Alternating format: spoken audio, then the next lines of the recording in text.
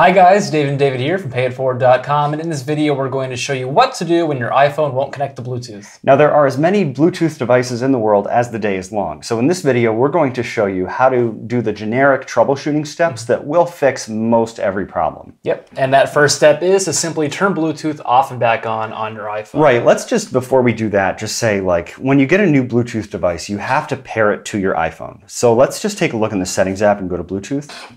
Before we decide that there's something actually wrong, if you don't see your device here under My Devices, it's never been set up correctly. So if your iPhone won't connect to Bluetooth in your car, what you have to do is pair it with your device. So the first thing I like to do is actually just pair it with these pair of headphones. Yep. So this is a pair of Bluetooth headphones. Uh, they've never been set up with David's iPhone before. That's true. So let's just turn it on. Now, in this case, here's a common mistake. I just turned them on but they're not going to show up over here because I didn't put them into pairing mode. So typically there's a side button on a lot of these devices, or in this case, what I have to do is just press and hold the power button and just keep holding. This is also a pretty common setup. And if I just keep holding, the headphones will kick into a pairing mode. Just keep holding. And you can see this sort of fancy blue and red. A lot of the times it has to wait for seconds for mm. that to happen. And here that is on our other devices. It doesn't say the name of the device, but I have a pretty good idea it's this one because we just put that one into pairing mode and it showed immediately. Mm-hmm. So so let's connect to it. All right, here we go. And right. I am connected. All right. Pretty connected. cool. Yep, there you go. So that's just like the first step. Make sure that your Bluetooth device is set up correctly. Yep. If it's not there, then we're going to start the yeah, troubleshooting so if, if, it won't connect to Bluetooth, uh, open the settings app, mm-hmm. tap Bluetooth, and turn that switch off next to Bluetooth, turn it off, back mm-hmm. on, and that usually fixes a lot of problems. It's usually a minor software issue, that'll fix it. Mm-hmm. The next step in this process for troubleshooting the Bluetooth problem is to make sure that the other device is actually on. So we're just going to show you what that looks like if it doesn't work. If you go to settings and then Bluetooth, let's say you're trying to connect to some headphones, go ahead and just click. So right now it's not connected, mm-hmm. and we're just waiting. Just waiting. It's, still, it's not going to connect. I'm gonna, you know, save you. Spoiler alert: not going to work because the headphones aren't turned on, yep. or if your device is out of range. So you, Bluetooth only works within a 30 foot radius. Usually it's 30 foot, yeah. Right, and then they have a new new technology. So if the device isn't on, it might say connection unsuccessful. Make sure yep. blank is turned on and in range. And in exactly range. Exactly what you just said. Wow.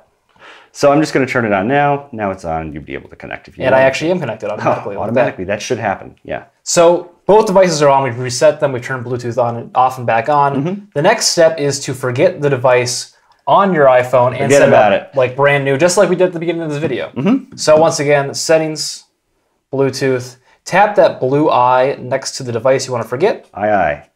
And then tap forget this device, forget device again, and the device has been forgotten. So now the next time you pair the devices, it'll be like they're pairing for the very first time. Mm-hmm. Yep. All right. Sometimes on the other device, there's a way to do a master reset. Like on a car, you can forget all the devices that have ever connected to it. Sometimes that's a good idea too.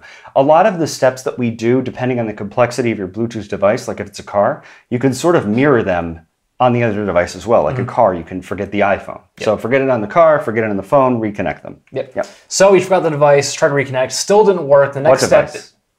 Your Bluetooth device. I forgot. The next step is to reset the network settings on your iPhone. This will reset your Bluetooth, your Wi-Fi, your mm-hmm. VPN, and your cellular data settings. Mm-hmm. So make sure you've written down your Wi-Fi passwords before doing this because you will have to re-enter those next time. Mm-hmm. So open the settings app. Yep. So scroll down and tap General. Yep.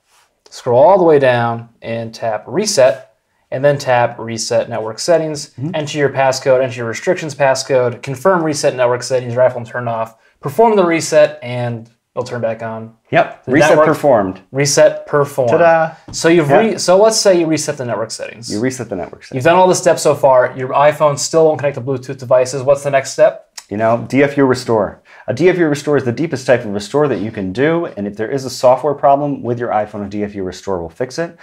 Funny enough, the F in DFU stands for firmware. When we're talking about hardware problems like Bluetooth antennas, that actually has firmware. So a DFU restore is necessary instead of just a regular restore in this case to fix yep, so we've got a great video on DFU restores linked up to a card and below in the description. If a DFU restore doesn't fix your iPhone, there could be a hardware problem with that Bluetooth antenna you were mm-hmm. just talking about. Yep. Um, if you have AppleCare Plus, take your iPhone into the Apple Store. We also recommend Puls, a third-party repair option. I'll send a tech directly to you, fix your iPhone on the spot. Yep.